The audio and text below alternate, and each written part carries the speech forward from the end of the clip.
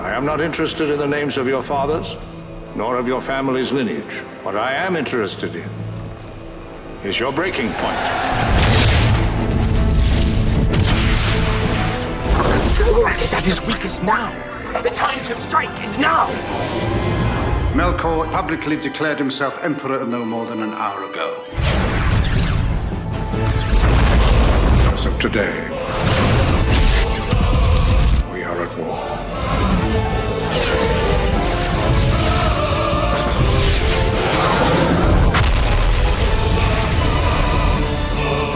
Cry woe, destruction, ruin, and decay. The worst is death.